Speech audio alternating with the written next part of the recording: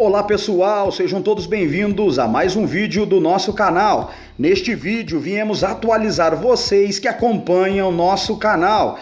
Diogo Melim apaga fotos com Bianca Andrade após romance na casa. Teria acabado tudo entre eles? Você vai saber tudo nesse vídeo e muito mais. Mas antes, se possível, peço seu gostei. Assim, o YouTube avisará sempre que chegar um vídeo novo aqui no nosso canal. Pessoal, feito isso, você que está chegando agora no canal, não esqueçam de se inscrever e ativar o sino de notificação para não perder nada dos próximos vídeos.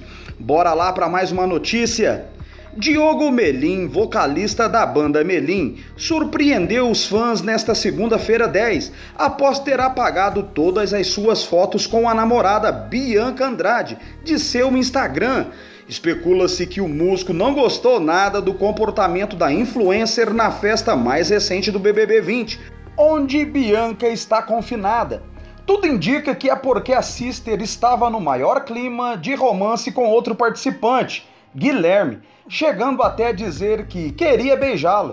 Entre muitos carinhos trocados, beijo no pescoço e abraços, Bianca chegou a pedir para que o amigo se afastasse, pois estava com vontade de ficar com ele. Ele, por sua vez, também demonstrou muito interesse, mas eles acabaram não fazendo nada demais.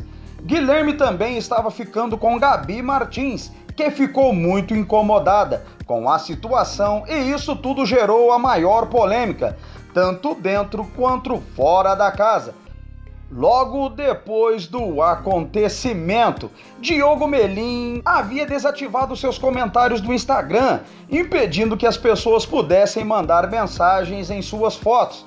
Agora tomou uma atitude ainda mais radical ao sumir com todos os indícios de Bianca de sua página.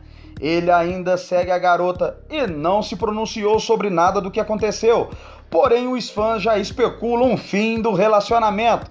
E na sua opinião, Diogo Melim fez certo em tirar todas as fotos de Bianca do seu perfil do Instagram? Sim ou não?